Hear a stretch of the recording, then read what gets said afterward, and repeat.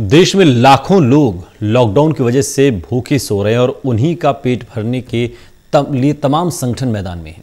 दिल्ली के प्राचीन झंडेवाला मंदिर में एक रसोई लगाई गई है जिसमें रोज 25 से तीस हज़ार लोगों का खाना बनता है। मेरे सहयोगी दिव्यांशु मल्होत्रा की ये रिपोर्ट देखिए। देश में कोरोना की वजह से त्राही त्राही मची है। एहतियातन 21 दिन के लिए लॉकडाउन किया गया है।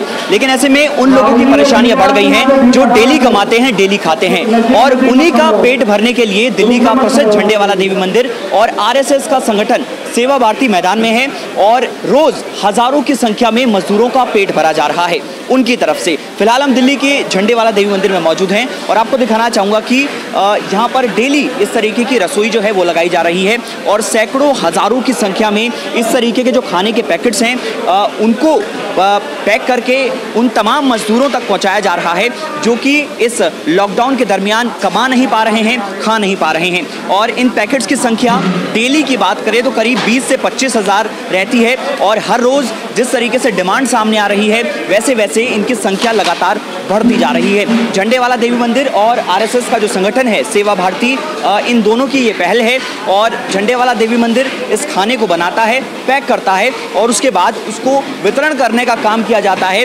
आरएसएस का संगठन सेवा भारती की तरफ़ से। कुछ सेवादार हैं झंडे वाला देवी मंदिर के, उनसे बातचीत करेंगे और ये जानेंगे कि आखिर ये पहल के बाद कितना उनको मार्केट से जो है मजदूरों का पेट भरने का मौका मिल रहा है। कुछ लोग हैं, सर इनसे भी जानेंगे। सर ये बताइए कि डेली कितना लोगों का यहाँ पर खाना बन रहा है?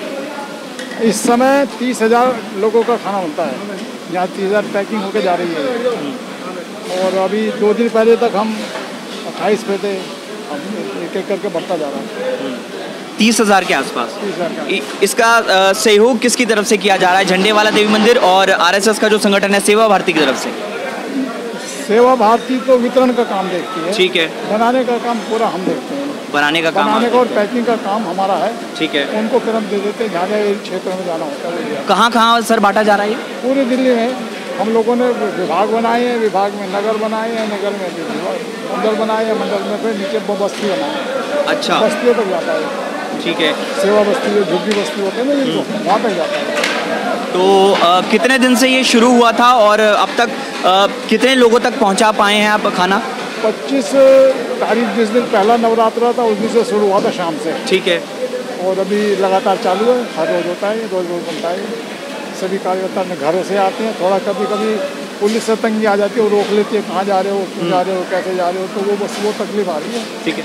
बाकी तो सब ठीक है चलिए, बहुत बहुत शुक्रिया कोई मिला के एक बार फिर मैं आपको तस्वीरें दिखाना चाहूँगा कि यहाँ पर आज शायद खिचड़ी बनी है और लगातार तमाम सेवादार हैं, वो पैकेट्स बना रहे हैं और इन पैकेट्स को अब उन लोगों तक पहुँचाया जाएगा जो वाकई में खा नहीं पा रहे हैं, भूखे सो रहे हैं और ये पहल वाकई में झंडे वाला देवी मंदिर और आरएसएस का जो संगठन है, सेवा भारती की तरफ़ से उनके लिए वाकई में काबिल तारीफ़ है। हालाँकि सरकार कोशिश ज़रूर कर रही है कि हर मज़दूर तक जो है पहुँचा जा सके खाना, लेकिन सरकार भी फेल होती नज़र आ रही है और यही वजह है कि मंदिर की तरफ़ से ये पहल की गई है और हज़ारों की संख्या में मजदूरों का खासकर रोज़ पेट भरा जा रहा है।